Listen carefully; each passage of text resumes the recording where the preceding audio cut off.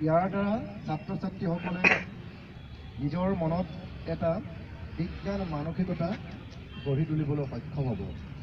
আমি যেতিয়ালৈকে বিজ্ঞানৰ বা বিজ্ঞান মনস্ক নহওঁ আমি প্ৰত্যেকটো কথাই যেতিয়া বিজ্ঞানসন্মতভাৱে গ্ৰহণ কৰিব নোৱাৰোঁ তেতিয়াই আমাৰ জীৱনত নানান অসুবিধা আহিব আহি পৰিব। অৰ্থাৎ কুসংস্কাৰে মনত বাস ল'ব। তেতিয়া আমি স্বাভাৱিক জীৱন যাপন কৰাত আমি সমৰ্থ নহওঁ। অৱশ্যে এই খাৰ কথাও মই ক'ব খোজোঁ যে আমাৰ পূৰ্বপুৰুষসকলে যদিও সকলোখিনি অন্ধবিশ্বাস বা কুবিশ্বাস বুলি গ্ৰহণ কৰিছিল সেইসকলৰ মাজতো কিন্তু বিজ্ঞান নিহিত হৈ আছিল। মাথো তেওঁলোকে এই সত্যখিনি বিজ্ঞান বিজ্ঞানসন্মতভাৱে বিশ্লেষণ কৰি দিব নোৱাৰিছিল। মই শিশুসকলক তেওঁলোকৰ অনুসন্ধিৎসা মনেৰে তেওঁলোকে অক্ষুক্ততাৰে এই যিবিলাক আমাৰ পুৰণি সমাজত বা পুৰণি চাম মানুহে যিবিলাকক অন্ধবিশ্বাস কৰিছিল তাৰ বিজ্ঞানৰ সত্যটো আৱিষ্কাৰ কৰিবৰ কাৰণে কঢ়িয়াই চাবৰ কাৰণে মই আহ্বান জনালোঁ। মই কথাখিনি বুজিবৰ কাৰণে অকণমান বা দুটামান উদাহৰণ দাঙি দিছোঁ উদাহৰণস্বৰূপে আমাক সৰুতে আমাৰ আই পিতাই ককা আইতাসকলে আমাৰ খোৱাৰ সময়ত এটা কথা কৈছিল যে তোমালোকে কেতিয়াও এতিয়া ল'ৰা ছোৱালীখিনি চিনি পাই মানে অকণমান জটিল হৈছে। এই যে আমাৰ আজিকালি চব পকা ঘৰ হ'ল গতিকে অসুবিধা। যে আমাৰ কেঞ্চি বুলি কয় এইটো। চটি কেঞ্চি তাৰ তলত শুব নিদিয়ে। শুব নিদিয়ে তেওঁলোকে নাযায় নেপায় বুলিয়ে কৈ থৈ দিয়ে। কিন্তু তাৰ তলত শুব নোপোৱাৰ কাৰণ এইটোৱে যে সাধাৰণতে সাপ নিগনি জেঠি এই তলে বগাই থাকে কেনেবাকৈ সৰি পৰি গাত পৰিব লাগে। কিন্তু নেপায় বুলি কৈ থৈ দিলে। এইটো এটা ডাঙৰ কথা। যে আমি সেই নেপায় নেপায় নেপায়তে হৈ গ'লোঁ। কিন্তু এতিয়া আমি নিজে ভাবিছোঁ কেলৈ ক'লে এইটোতো এনেই সৰু কথা। আৰু কিছুমান কথা যে সেই কথাটো মই নিজেহে কৈছোঁ সেইটো সত্য হয় নহয় নাজানো।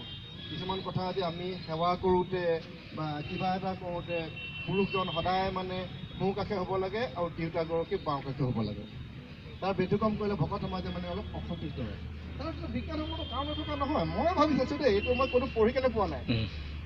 আমাৰ সদায় মানুহ সৰসংখ্যকে সোঁহতে আমি যুদ্ধ বিগ্ৰহ কৰোঁতে সদায় সোঁহতে কৰোঁ। যেতিয়া মানুহে এটা বিপদসংকুল জীৱন যাপন কৰিছিল হাবিৰ মাজত যেতিয়া আমি আদিম অৱস্থাৰ পৰা কি কৰিছিলে যে পুৰুষেই যুদ্ধ দিব লগা হৈছিলে। যদিও নেতৃত্বত মাতৃপ্ৰধানে আছিলে কিন্তু যুদ্ধ বিগ্ৰহ বা কিবা এটা হ'লে পুৰুষজন লাগিব তেতিয়া নিজৰ পত্নীগৰাকী নিৰাপত্তা দিবৰ কাৰণে সদায় বাওঁহাতে থৈ পৰিব যে এইখনতে ধৰি ল'ব এইখনতে যুদ্ধ কৰিব। মই এতিয়া ভাবিছিলোঁ কথাখিনি? এইটো এটা বিজ্ঞানসন্মত কথা। সোঁহাতে থাকোঁতে বাওঁহাতে ধৰি লওক কোনোবা আহিছে সোঁহাতে বাওঁহাতে দিব লাগিব। গতিকে এফালে ধৰি এফালে যিকোনো প্ৰতিহত কৰিব পাৰিব। গতিকে এইবোৰ এটা বিজ্ঞানসন্মত কথা আছে। মোৰ কেইবাটাও কথা এই মুহূৰ্তত মনত পৰা নাই। বহুতখিনি কথা এতিয়া ভাবিছোঁ বিভিন্নজনৰ লগত আলোচনা কৰি মই ইয়াৰ বিজ্ঞানসন্মত বিশ্লেষণ যে একান্ত প্ৰয়োজন আছে এইখিনি কথা অনুভৱ কৰিছোঁ। গতিকে তোমালোকক কোনোবাই নেপায় বুলি ক'লে নেপায় বুলি ভাবি ল'বা। তেওঁলোকক এই তোমালোকৰ আগত এইবোৰ নক'বা কাৰণ তাতে এটা বিজ্ঞানসন্মত কথা আছে। আমাৰ মা দেউতাসকলে মাত্ৰ আমাক ভাঙি দেখুৱাব নোৱাৰিলে। মোৰ এই মুহূৰ্তত মনত পৰা নাই মই ভাবিও হোৱা নাই কথাখিনি ধৰণে এনেকৈ আগবঢ়াই নিম বুলি। মনত পৰিলে কেতিয়াবা শ্বেয়াৰ কৰিম। আমি বহুত কথাই পাইছিলোঁ। এতিয়া আমাক এই কি হ'ল? চিকমিকা বেলা। চিকমিকা বেলাটো বা দুখ মোকালি সময়ত কাম কৰিব নকৰে। কাম বন নকৰিবলৈ কৈ যে কোৰখন নকৰিবি দাখন নকৰিবি এনেকুৱা এটা কথা। ইয়াৰ কাৰণ এইটোৱে যে আমি ঠিক হেৰি দুখ মোকালিৰ সময়ত বা গধূলি এই সাঁজ লগাৰ সময়টোত আমাৰ চকুৰে নমনা হয়। না সূৰ্য পোহৰ কাৰণে আমি কাম কৰিব পাৰিম না আমি এই চন্দ্ৰৰ অকণমান হ'লেও আমাৰ ৰিফ্লেক্টত আমি কিবা এটা কৰিব পাৰিম। এইটো নহয়। তেতিয়া আমি যেতিয়া কোৰ মাৰি থাকোঁ ঘৰত নেপায় ৰাতি হ'ল এনেকুৱা সাঁজ লগাব নেপায় বুলি আমাক আইহঁতে চিঞৰে কিন্তু কোৰ মাৰি থাকিলে। এতিয়া ভাবি চাইছোঁ যদি তাতে তাত আমি কোৰ মাৰি থাকোঁতে চিকনাই আছোঁ যেনিবা চিকনাই থাকোঁতে আমি দেখি থাকিলে ধুনীয়াকৈ মাৰি থাকোঁ।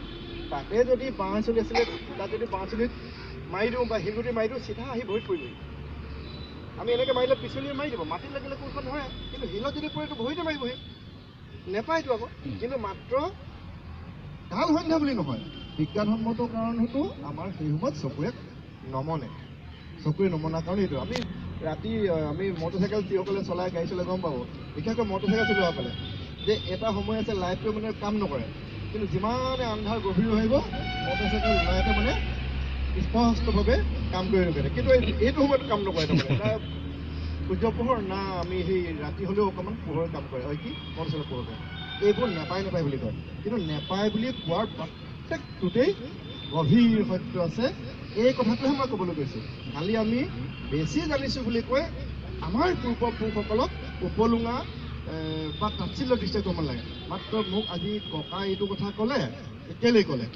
মই এদিন ককাক এই সত্যটো নিজে চিন্তা কৰি উলিয়াই মই ভাঙি দিম ৰ ককাৰো ভুল ভাঙিব আৰু ময়ো এটা সত্য আৱিষ্কাৰ কৰিম। এই দৃষ্টিৰে তোমালোকে আগবাঢ়া তোমালোকে এদিন সফল হ'ব পাৰিবা। মই পুনৰবাৰ সদৌতিলৈকে মোৰ কৃতজ্ঞতা প্ৰকাশ কৰিছোঁ আৰু এই অনুষ্ঠানটি আনুষ্ঠানিকভাৱে মুকলি কৰিবলৈ মোক আমন্ত্ৰণ জনোৱাৰ বাবে মই পৰিষদৰ প্ৰতি কৃতজ্ঞ হৈ ৰ'লোঁ। ধন্যবাদ।